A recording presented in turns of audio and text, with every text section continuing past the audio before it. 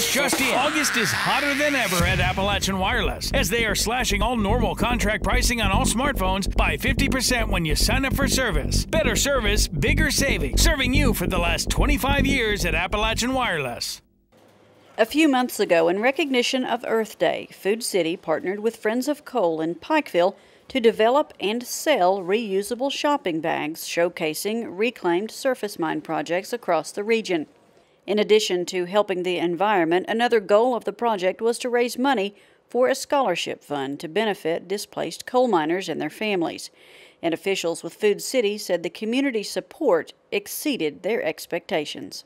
We had 23 stores that participated in the sale of the bags, and in a period of four days, we sold over $40,000 worth.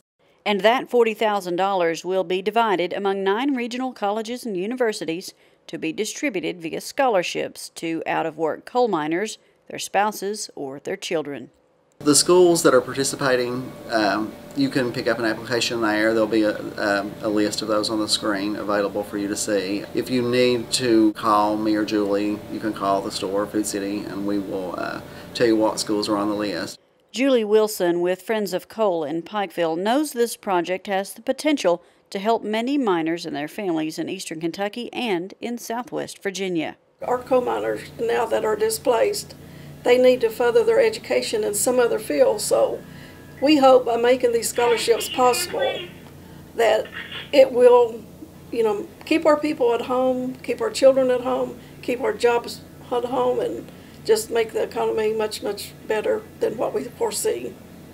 In addition to the $40,500 raised by the sale of the bags, Collins says many of the participating colleges have committed to doubling the amount given to their schools to fund the scholarships.